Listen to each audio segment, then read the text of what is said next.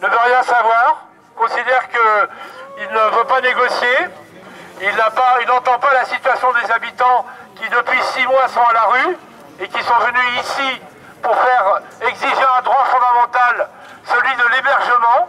Il y a à moins de 200 mètres d'ici un nouveau foyer d'hébergement qui vient de s'ouvrir à Saint-Denis, 60 places, qui est occupé par à peine 13 personnes et qui pourrait parfaitement répondre à la demande des habitants. Il y a une situation de blocage. Évidemment, la seule façon de sortir de cette situation, c'est qu'il y ait une négociation qui permette de répondre à la situation des habitants. Voilà, pour le moment, situation de blocage. La préfecture doit revenir sur sa position et apporter des réponses.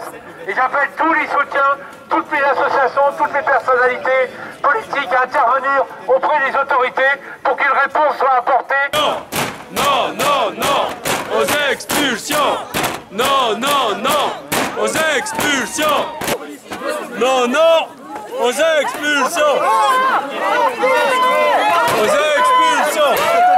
Oh Oh Oh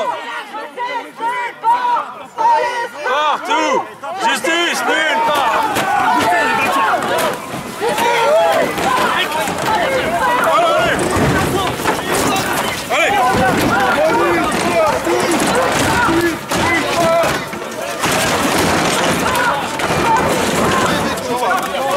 Non, non, non Expulsion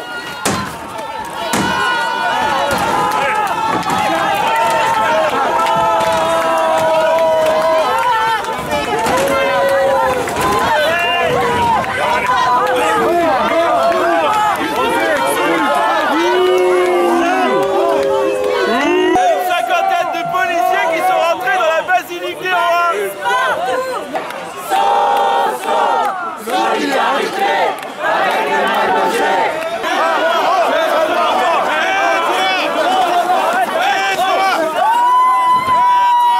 Depuis Saint-Bernard, de sans-papiers, c'est la première fois que la police ose intervenir pour expulser les habitants qui étaient venus ici demander avoir un hébergement, demander à l'église, à l'église de la soutenir. Honte à vous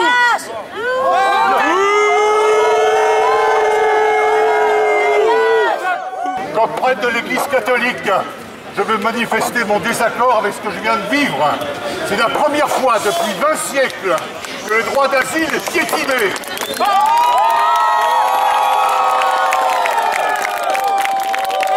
C'est la première fois que je vois des armes entrer dans une église. C'est une honte